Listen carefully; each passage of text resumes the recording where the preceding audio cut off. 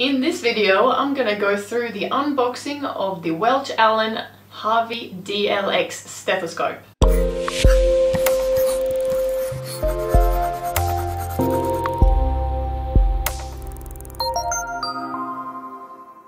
Hey hey what's up guys Nurse Jenny here. In this video I'm going to show you a detailed unboxing of the Welch Allyn Harvey DLX stethoscope and if you like me into all things nursing consider subscribing and if you found this video at all helpful please give it a thumbs up. Let's get into the video. The box looks like this and it's got a picture at the front of the actual Harvey DLX stethoscope However, the stethoscope that you buy doesn't come with this attachment and I'll show you that when I open the box.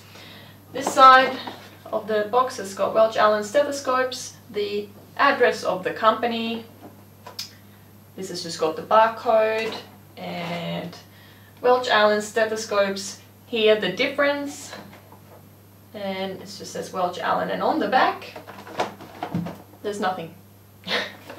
okay, so opening the box, it opens to the side, you get a Welch Allyn Harvey Heart Sound Sampler. So it's actually a CD that you can listen to somehow with your Discman or Walkman, whatever. Um, it comes with a, um, a um, user manual and it's got six different languages. And this picture is actually a picture of um, the triple head stethoscope. So this is a dual head. Apparently there is a triple head as well. Then you get a little um, extra name tag.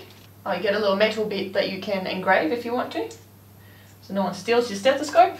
Just a little instruction on how to put it on. Alright, now we've got the stethoscope. That looks like that.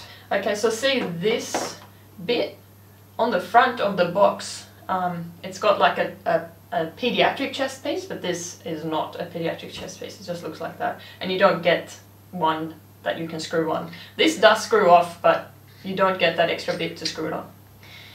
Okay, so the, the chest piece is, is quite different from other chest pieces. It's got this little wing side here, um, and it is turnable. And the middle bit has got, it's like a cube in the middle, which is quite solid and quite heavy. And the diaphragms, they all screw off. Like that. And like that. And you've got the A-frame. It is dual lumen. Um, this bit here is so that you can um, make it tighter or make it more loose. In the box it comes just like that. So the the um, the binaurals are not angled at all to your ear, so you have to do that yourself. So you have to